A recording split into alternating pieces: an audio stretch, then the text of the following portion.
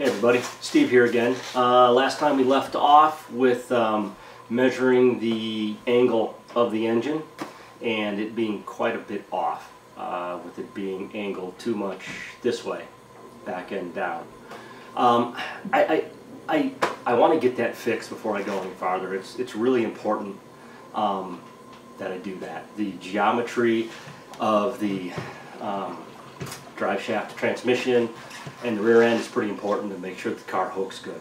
I spent a lot of time with the old setup uh, getting this thing to not wheel hop and with a four link suspension like this has it's easy to do because the pinion gear wants to ride up the ring gear when you jump on it and it wraps up the rear suspension and then it wraps it up and then it releases and that's what gives you your wheel hop in the back.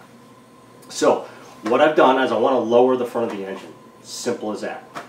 Um, and I will show you what I bought to try to do that. So here's what I purchased. I bought a new oil pan. It's a Holley. It's unfortunately twice as expensive as the GM muscle car pan.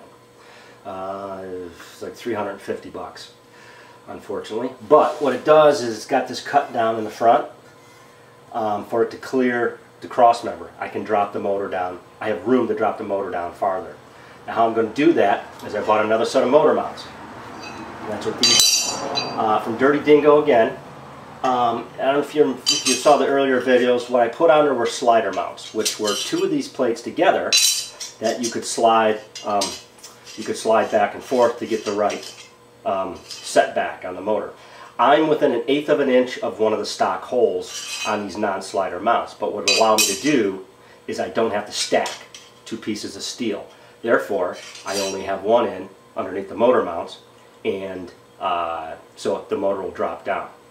If it doesn't drop down enough with that, I'm going to go back to the old motor mounts, which were uh, 3 eighths of an inch lower um, this way than, um, than what the ones Okay, are. so I pulled the engine, um, we took the oil pan off. I just want to show you the difference here between these two pans. So the one on the right is what was on the car, that's the GM muscle car pan. The one on the left is a new Holley pan. You can see the difference here, how much, um, how thin this is here compared to hair. So now I'll be able to have more room to lower the engine. Uh, the other big difference on this pan is the sump area. It is much higher on the Holley pan from this direction. Um, I've measured, I should have enough clearance for the cross member. Uh, we're going to put the pan on, and we'll Now find out. the pan on to give us more space and room in the front, but the way we're going to drop it is by changing these motor mounts here. These were the Dirty Dingo slider mounts, and there's two plates um, that make them real thick. So I'm going to take that off, put on the single plate ones, and put it back in the car and see what happens. Okay, we tried putting the motor back in. Um, I picked up about an eighth of an inch and bringing the front of the motor down, uh, which is not enough. Um, so we're going to try those other mounts. Um, I'll show you the difference, uh, kind of a reminder from earlier videos, what the difference in the, is in the two mounts. Okay, so here are the two mounts. These are the ones that were on there. Okay. And just from the back of the bottom of the hole to the back of the plate, it's about two inches. These are the old mounts that I'd taken off because I wanted to boost the engine up to have clearance on the cross member with the old pan, but with the new pan, I should have more clearance. So here's the old mounts from the bottom of the hole to the back plate. It is inch and a half. So we should be able to drop the motor a half inch, which hopefully won't be too much. All right, we got the other mounts on. We put the engine in. It is uh, definitely sitting lower than before. And you can see I have the level on the front. If you remember, that's how we were measuring it before. So uh, we're going to measure it and double check. Um, the measurement we were trying to get to was one and seven eighths of an inch from the level down to the center of the of the crank bolt. And let's get the level put in place here. Now Marcus, go back. Or yeah, there you go. There you go. All right.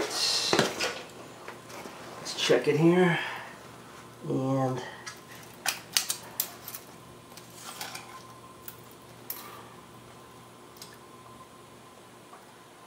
I'd say we're very, very close.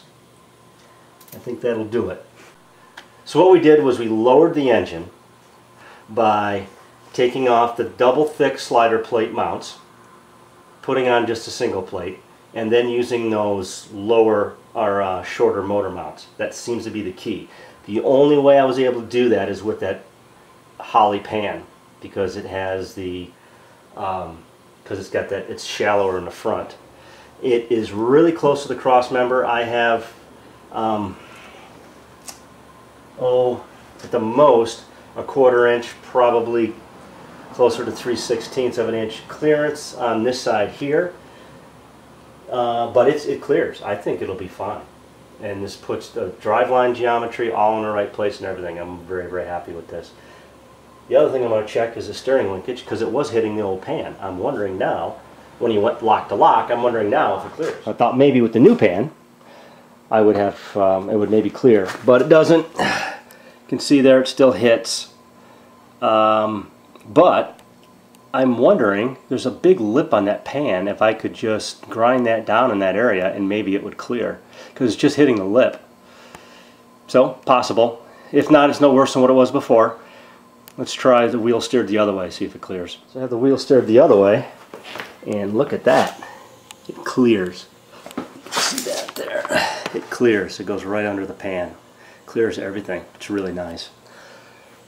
So if I use this pan, and kept the engine up, uh, everything would clear. But I'd rather sacrifice the steering the one direction a little bit um, and get all this other driveline geometry in place and shifter in the right location and all that. So what I did, since we lowered the motor about a half inch, uh, I wanted to make sure that the accessory drive and everything cleared the steering box. So I put the ellisbrackets.com um, accessory brackets back on, put the power steering box in. As you can see, that power steering pulley, uh, it's a lot closer, but still plenty of clearance. It'll be fine. Real happy with that. I also put the headers back on. No problem there. So here's a combination that worked for me. Start from the back going forward. Stock cross member for the transmission. I think everything's fine there. I used the Dirty Dingo um, not the slider plates, but just the conversion plates um, for the uh, conversion for, for the engine mounts. I use the tall frame stands for the engine mounts and then use the low but wide motor mounts that go to the frame stands. What that allowed me to do is get that front of that engine down and a Holley pan allowed me clearance to do that. Now there's a bit of a spacing issue with those wider lower mounts on the tall skinny frame stands, but not a big deal. A couple of washers in there is going to take care of the spacing, or I may machine a nice spacer at work, I don't know. Um, and then I was able to get with, uh, with those engine mounts, and with the, again, the oil pan allowed me to do this, to get that engine back just a little bit more. So everything's in the correct location front to back. Shifter comes up through the hole, in the floor, no cutting up the floor anymore. My drive shaft's going to work because the length will be correct because I have the front to back location of the engine good. You know, the power steering box and the lsbrackets.com accessory drive all fit even with the lowered engine. Fantastic day. I am really confident that this thing is in the right spot now. Take the time, everybody. Do this stuff and, and just make sure you get those this basic stuff correct because I believe down the road it'll make things just so much easier. So the next thing is basically we're going to yank the motor out because it's I'm done with doing the test fitting of it and then I'm going to rip apart the front end and do the Global West conversion. That'll hopefully be the next set of videos. Stay tuned.